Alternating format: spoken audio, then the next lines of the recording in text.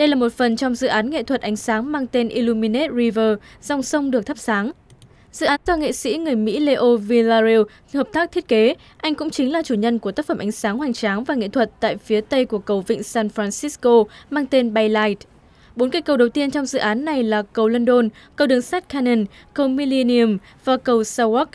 Tất cả đều được thắp sáng bởi những ngọn đèn đầy màu sắc, mang đến những màn trình diễn mãn nhãn dành cho người dân và du khách có mặt tại đây. Những gì chúng tôi đang làm ở đây là cố gắng làm toát lên được vẻ đẹp của những cây cầu này khi chúng dường như bị yến mất trong màn đêm. Với những hiệu ứng ánh sáng này, bạn có thể nhìn thấy tất cả các chi tiết của cây cầu mà trước đây bạn chưa từng được thấy. Vì vậy tôi nghĩ rằng dự án này sẽ giúp biến những cây cầu này trở nên gần gũi hơn, giống như cuộc sống và hơi thở vậy.